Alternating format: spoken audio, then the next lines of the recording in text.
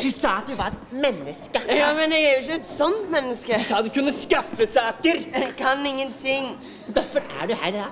Vi skal jo på party! Hvis ikke du kan hjelpe oss, så har vi ikke brød til deg. Stavanger i 2099, og Dyro har inntatt byen.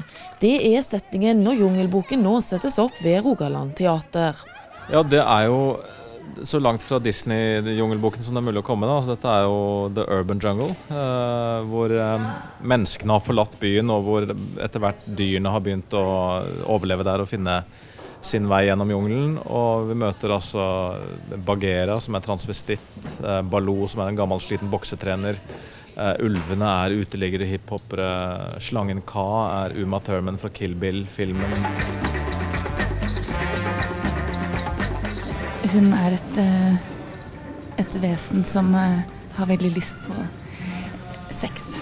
Og hun er veldig glad i å slåss, eller eh, å drepe. Og er veldig god til å der På et tidspunkt i hvert fall så det, går det litt hardt utover de der. Så de bare bygger opp en aggresjon hos meg nå for at jeg skal få lyst til å drepe de litt senere. Dette er ikke barneteater. Altså, her er det elleve års aldersgrense. Her er det mye blod og drap og sex og vold og rock'n'roll.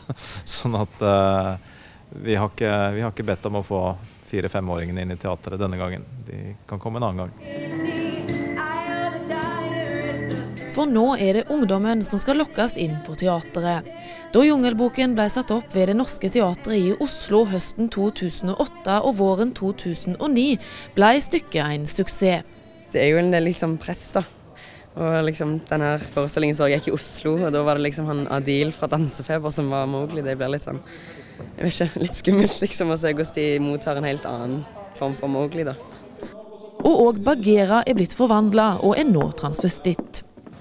Kjekt. Eh, fortell litt. Kjekt. Det er kjekt. Fortell litt om rolla di. Hva er det du spiller?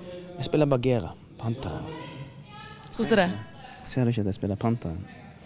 Jo, det er gøy, det. Men jeg har litt vondt i beina, for jeg går på sånne jævla høye hæler. Ja, hvordan er det egentlig? Nei, Det er jo litt uvant, men det går. Ja, Dette antrekket ditt, eh, det er jo litt um, uvant, det? Ja, det er jo litt uvant. Jeg tror det går litt på at Panter er jo kattedyr, og de er jo liksom feminine. Så har de tatt det helt ut, da. Jeg må inn på scenen. For Christian har rolla som Mowgli budd på fysiske utfordringer. Ja, jeg fikk beskjed om at jeg måtte bare liksom komme i gang med trening osv. For jeg hadde ikke helt kondisen på topp. Så det var liksom ja, springing og slåssing og hopping og dansing og sånn. Det er en lek med alt folk kjenner av, av, av filmmusikk, av coverlåter, men de er liksom pakket inn i en sånn urban stil da, hvor det er mye hiphop-groove sånn som ligger under hele tiden. Og når en spiller Mowgli anno 2099, er heller ikke hårfargen den samme som tidligere. I begynnelsen så var jeg veldig sånn Du, jeg er nødt til å liksom hadde lyst til å ha på sånn skilt at jeg, jeg er nødt til å ha håret sånn, altså. Men nå det bryr meg ikke en plass. Det, det er bare håret til å vokse ut igjen. Det er kjempefint. helt greit. Og gjennom forestillingen kan en dra parallellen til det virkelige liv, for her handler det òg om reisen fra barn til voksen. Det er det å finne fram gjennom sin egen jungel, på en måte. Å eh, møte alle farer.